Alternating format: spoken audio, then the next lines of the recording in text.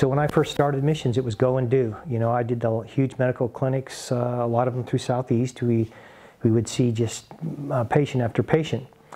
But it was, the line was, uh, was you could never, the day wasn't long enough to see the hundreds and, and sometimes thousands of patients uh, that we would see on these trips. So the question kept being asked to me and gnawing at me, why am I leaving uh, when there's so many more to see? And so God was speaking to me about the way I was doing it. And then one particular trip I was on, um, uh, the team was sick, so I was up every night and I heard crying in the distance.